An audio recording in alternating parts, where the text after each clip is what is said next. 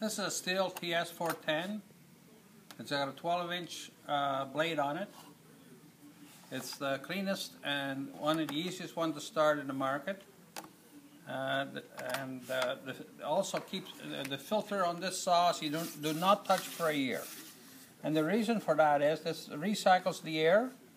The way it works, it works the, the flywheel pick up the air, cools the engine, and some of it goes through the filter and all the large debris gets sucked in. It gets uh, uh, the, uh, dropped through the bottom, so therefore the filter uh, runs cleaner.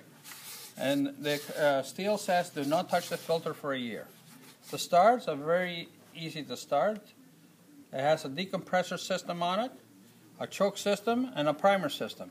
You just prime it a couple times, put the choke on, put it to start, do one or two pulls, Take the choke off, you're not a pole, away she goes.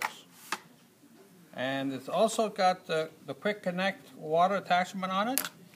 You just attach that to your hose, you quick connect on it, and you can adjust the flow of water right there. And runs on 50 to 1 mix, very easy to use.